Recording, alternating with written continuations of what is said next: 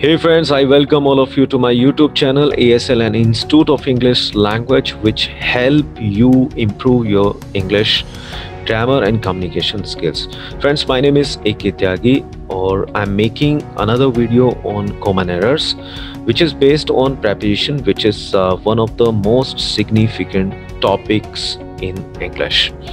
Friends, uh, बिल्कुल सही सुना आपने प्रेपिशन के ऊपर ही ये वीडियो भी बनने जा रही है और बिकॉज़ सबसे ज़्यादा जो एरर्स हमारे होते हैं, वो प्रेपिशंस में होते हैं और हम कंफ्यूज हो जाते हैं कि कहाँ पर किस प्रेपेशन का करेक्टली हमें यूज़ करना होता है। तो फ्रेंड्स सबसे पहले before I start this video I would like wish all of you a very happy republic day और फ्रेंड्स जो नए व्यूवर्स हैं, उस चैनल को सब्सक्राइब करें ताकि बहुत अच्छी अच्छी वीडियोस आपको देखने को मिले आने वाले समय में और पीछे की वीडियोस भी आप देख सकते हैं। और बेल आइकन को ज़रूर प्रेस करें इस घंटी के बटन को ताकि सारे नोटिफिकेशन आपको मिलते रहें, जो भी हमारी फ्यूचर की वीडियोस होंगी। तो फ्रेंड्स बिना समय गवाए लेट्स गेट स्टार्टेड शुरू करते हैं। तो फ्रेंड्स स्क्रीन पर आप ध्यान से देखिए कॉमन एरर सीरीज़ में ही अनदर वीडियो आज बन रही है। इनकरेक्ट सेंटेंसेस सबसे पहले मैं आपको दे रहा हूँ। एक एक सेंटेंस को बहुत ही ध्यान से आप देखिएगा। प्लीज़ उसको ध्यान से आप स्टडी करें, ध्यान से just you have to listen to me minutely और ताकि so that you can understand each and everything you may understand each and everything तो वो सारी चीज़ें आप समझ लें और जैसा कि मैंने हर, जैसा मैं हर वीडियो में आपसे बोलता हूँ कि सारे सेंटेंसेस को लिखने के बाद आप वीडियो को पोज करें, उनको करेक्ट करने की कोशिश करें, उसके बाद आप देखिएगा कि कितनी गलतियाँ आपसे हो रही हैं या फिर आपकी इंग्लिश कितनी स्ट्रॉन्ग है दोस्तों। तो पहला सेंटेंस जैसे आप देख पा रहे हैं it is better for you to comply to your parents wishes तो कंप्लाई का मतलब होता है पालन करना, मानना तो ये आपके लिए बेहतर है कि आप अपने पेरेंट्स की इच्छाओं का पालन करें, उनको माने। दूसरा सेंटेंस आपका you are capable for doing this work तो आप समर्थ हैं कैपेबल हैं इस काम को करने के लिए, यहाँ पर जिरंट का यूज़ हुआ है डूइंग के रूप में। एंड थर्ड सेंटेंस आपका, देखिए he has been made conscious with his shortcomings तो उसको जागरूक कराया गया, उसको जागरूक किया गया, उसको सतर्क किया गया, उसको बताया गया उसकी कमियों के बारे में। शॉर्ट कमिंग्स का मतलब यहाँ पर कमियाँ हैं, त्रुटियाँ हैं, ठीक है? और कॉन्शियस जो हमने यूज़ किया है यहाँ पर, वो आपके जागरूकता के लिए, सतर्कता के लिए हमने यूज़ किया है। The four sentence is he is content to his life as a driver तो एक ड्राइवर के रूप में एक चालक के रूप में वो अपने जीवन से संतुष्ट है। कंटेंट का मतलब होता है जितना है उतने में संतुष्ट होना।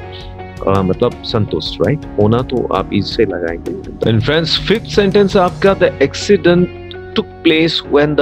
bus collided to a truck तो जब ये एक्सीडेंट तब हुआ जब एक बस क्लाइडेड uh, हुई यानी टक्कर मारी बस ने ट्रक से। तो यहाँ पर भी आप इस सेंटेंस को देखना कि ये गलत है या सही है। And we are happy to see you cured from all diseases यानी आप बहुत मतलब हम खुश हैं आपको देखकर, आप ठीक हो गए सभी बीमारियों से। And do you compare life with a movie show क्या आप जीवन का, की तुलना एक मूवी शो के साथ करते हैं? And you should take care for yourself next और नाइन्थ सेंटेंस आपका we have contributed some money for the Sri Ramji temple. Or next, uh, tenth one, she has been charged of murder. तो friends ये दस sentence आपके हैं जिसमें प्रेपिशन यानी अलग अलग प्रेपिशन के एरर हो सकते हैं आप इनको एक बार अच्छे से देखिए स्टडी कीजिए समझने की कोशिश कीजिए ट्राई टू अंडरस्टैंड दैट और if you find any error okay तो आप उसको नोट करें और फिर उसके बाद जो करेक्ट आंसर की जो आगे आ, मैं अभी देने वाला हूँ आपको उसके साथ मैच करके देखिए कि कितने सेंटेंस आपके सही हैं, गलत है। तो एटलीस्ट आप दस प्रेपरेशन को आज सीखेंगे। और अगर आप दस प्रेपरेशन सीखते हैं तो ये बहुत ही बड़ा चेंज लाती है आपकी स्पेशली कम्युनिकेशन स्किल्स में। तो फ्रेंड्स अब हम नेक्स्ट पार्ट इसका देखते हैं, यानी इनकरेक्ट सेंटेंस के साथ हम करेक्ट सेंटेंस को स्टडी करते हैं। पहला सेंटेंस था it is better of it is better for you to comply to your parents wishes तो इसका करेक्ट आप सेंटेंस बनाएँगे it is better for you to comply with your parents wishes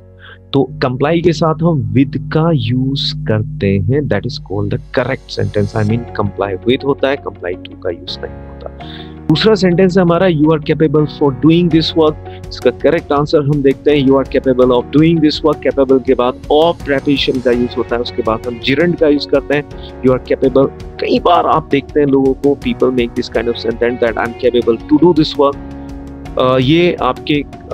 spoken English में चल जाता है because वहाँ पर इतना ध्यान नहीं देते लोग। लेकिन as far as the grammar is concern यानी अगर आप कोई लेवल अचीव करना चाहते हैं देखो, भाषा की अगर बात करो if I talk about language and communication skills no matter but you speak wrong and right but if you are exchanging the thoughts okay with people you are giving your thoughts to people and you are making them understand what you are trying to say that is far better communication में इतना चल जाता है grammar में का ध्यान हम इतना नहीं करते बट उन लोगों के बारे में आप थोड़ा सा देखिए या सोचिए जो आ, मैंने बताया था किसी कंपटीशन के लिए प्रिपेयर हो रहे हैं तैयारी कर रहे हैं प्रिपरेशन कर रहे हैं तो वहाँ पर इन चीज़ों का बहुत बड़ा महत्व होता है। या फिर उन लोगों की बात करता हूँ मैं जो अपने आप को इंग्लिश में लेवल पर देखना चाहते हैं यानी उनका जो जैसे एज आई टोल्ड यू कि if you want to improve your correspondence जो पत्राचार है वहाँ पर ज़्यादा प्रॉब्लम्स होती है प्रेपरेशन के लिखने के वक्त। जो छोटे छोटे एरर्स आप करते हैं। थर्ड सेंटेंस आप देखिए he has been made conscious with his shortcomings मैंने आपको पहले ही बताया था, जागरूक करना तो इसका करेक्ट यानी आप प्रेपरेशन देखिए कॉन्सियस ऑफ़ होता है हिज शॉर्ट कमिंग्स यानी उसको जागरूक किया गया, सतर्क किया गया, उसकी कमियों के बारे में बताया गया, जताया गया कि भाई आप में ये कमियाँ he. Is content to his life to his life okay as a driver तो कंटेंट विद का यूज़ हम करते हैं his content with his life as a driver and friends अभी देखिए आप फिफ्थ सेंटेंस को the accident took place when the bus collided to a truck तो कलाइड जो आपका एक्शन होता है, जिसका मतलब है टक्कर मारना है, टक्कर होना तो वहाँ पर हम विद का यूज़ करते हैं the accident took place when the bus collided with the truck यानी से टकरा गई ट्रक से टकरा गई, ये एक्सीडेंट घटा. टेक प्लेस मतलब होता है हैपन अकर होना, यानी घटित होना कहीं पर। और six sentence we are happy to see you cured from all diseases तो just you have to remember one thing कि क्योर के साथ हम ऑफ़ प्रेपिशन का यूज़ करते हैं cure of all diseases so we are happy to see you cure of all diseases next आपका seventh है do you compare life with a movie show तो यहाँ पर कंपेयर का यूज़ करेंगे कंपेयर uh, के साथ टू का यूज़ करेंगे do you compare life to a movie show और एट्थ है आपका you should take care for yourself and you have to use take care of yourself should take care of yourself. And the ninth one is we have contributed some money for the Sri Ramji temple. और यहाँ पर just to remember one thing दोस्तों, ये थोड़ा सा आपको अजीब लगेगा बिकॉज़ यहाँ पर हम दो तरह से सेंटेंस को बनाते हैं। यानी अगर हम बात करें अलग अलग लोगों की तो we can make this sentence as I mean in other way में, यानी कुछ अदर तरीकों से हम बना सकते हैं we can make it in another way and other ways as well right तो मैंने अनदर वे यानी एक सेंटेंस के लिए अदर वेज मैंने और अन्य सेंटेंस के लिए यूज़ किया। तो we can make this sentence like that कैसे बना सकते हैं हम? जैसे वी मेड या we have made some contribution to the Shri Ram ji temples fund हमने उसमें कंट्रीब्यूशन किया है। और अगर आप डायरेक्टली कंट्रीब्यूट से, यानी इसको एक्शन की तरह यूज़ करते हैं नाउन की तरह यूज़ नहीं करते तो we can make this sentence that we have contributed some money towards the Shri Ram ji temple और दोस्तों, यहाँ पर ध्यान रखने वाली बात है कि अगर आप फोर का यूज़ आपके मुँह से निकलता है कॉन्ट्रीब्यूशन फोर कॉन्ट्रीब्यूटेड फोर लेकिन यहाँ पर we have to remember one thing कि या तो हम टू प्रेपरेशन का यूज़ करते हैं जो कि स्पोकन में बहुत ज़्यादा यूज़ होती है, लेकिन ग्रामर की बात करें फिर से एक बार तो यहाँ पर टू वर्ड्स फार बेटर है स्टिल बेटर है राइट रैदर बेटर है। तो यहाँ पर टू वर्ड्स का आप यूज़ कर सकते हैं, श्री राम जी टेंपल यानी श्री राम जी के टेंपल के लिए आपने कुछ पैसा कॉन्ट्रीब्यूट किया, कुछ आपने दिया पैसा। और टेंथ सेंटेंस आपका she has been charge of murder तो एक्यूज ऑफ़ का हम यूज़ करते हैं, लेकिन चार्ज के साथ हम विद का यूज़ करते हैं। तो she has been charge with murder तो उस पर जो चार्ज लगा है, यानी आरोप जो लगा है, वो हत्या का लगा है चार्ज किया गया उसको हत्या के लिए। एंड दैट्स मीन ये सारी प्रेपरेशन आपकी जो बहुत ही ज़्यादा इंपॉर्टेंट होती है इंग्लिश में and uh, these all preparation can help you improve your communication skills. Once again i'm going to this thing okay? और फ्रेंड्स uh, uh, इसके again I am suggesting to all of you please make notes और पीछे की सारी videos को आप देखना। तो अभी तक के इतने इतना ही दोस्तों you have to wait for another video I mean the next video और uh, अप, अपना ख्याल रखिएगा स्टे बेस्ट